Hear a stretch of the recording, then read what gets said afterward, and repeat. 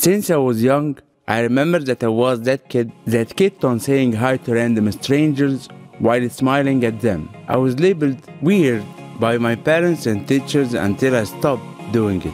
Fast forward to me being 27, I had this epiphany moment. I was sitting to my desk and suddenly, out of nowhere, I asked myself, what do I want out of this life? But this time I wanted a real answer, not a superficial one. Brian Tracy mentioned the five whys method. I decided to use it, and whichever answer comes up, I shall ask myself why. For example, I want to excel in my job. Why? To get more money. To be happy. Then I asked what else? I wished for a life partner. To share my life with. To be happy.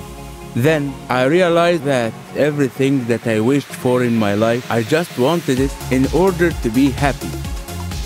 Applying the concept of begin with the end in mind and to be good at anything, teach it, I decided to write a book about happiness. The self doubt begins. Who am I to write a book? I'm not an author. Am I even happy enough to write a book about happiness? I have made a lot of research until this one sentence set me free. The best thing you can do to be a good writer is to write, write, write, and write. I decided to start and to never think about the publishing. I am going to write for myself because I needed to learn how to be happy. I made a promise that every idea in this book should be genuine, tested, and practical. Before I wrote any idea, I tested it and searched for other people whom the idea worked for. When I started, the magic began. A research led to a thought, a thought led to an interview, an interview led to a book, a book led to an organization. I interviewed people from more than 20 countries about how they define happiness and how they find it. I integrated these interviews into the book. I felt that the book is writing me. It became effortless, and before I know it, the book was finished. It was a four years journey. I have put my heart and soul into this book. What I discovered after writing this book, there are three secrets to happiness. The first is that happiness has no secret, because it's only science and its application. That happiness does not come from external possessions and activities like money, relationships, or traveling.